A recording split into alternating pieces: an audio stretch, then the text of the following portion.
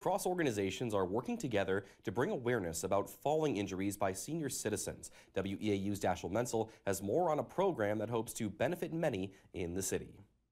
Mugs for Rugs is a campaign run by the La Crosse Fire Department and Gundersen Health System that brings awareness to fall prevention for senior citizens. The program encourages people to bring throw rugs to local coffee shops in exchange for a filled coffee mug. Throw rugs actually offer a, a, slipping or tripping hazard for anybody in their home, and so that's why like having those adhesives on the back, making sure that um, they're not going to be slipping on you is important.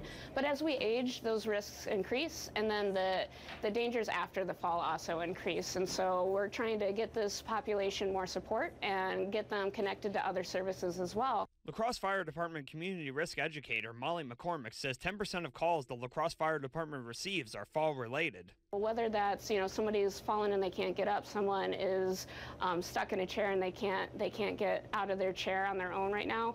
Um, those are the kind of calls that we want to help prevent. And so we're just trying to raise awareness so that people know that there's resources available to them. The fire department isn't the only place to see the effects of falling. Gundersen Trauma Injury Prevention Coordinator Carly Severson says falls are the number one traumatic injury that they see. Roughly 60% of our trauma injuries are due to falls as a whole. So it is our number one injury and it is uh, one of our major priorities of injury prevention focus.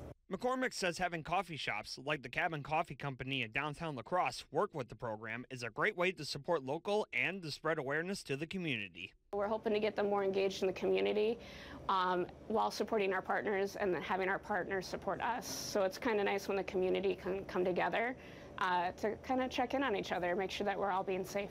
The program doesn't just help senior citizens and coffee shops. The donated rugs will be turned to local animal shelters and rescues in the area.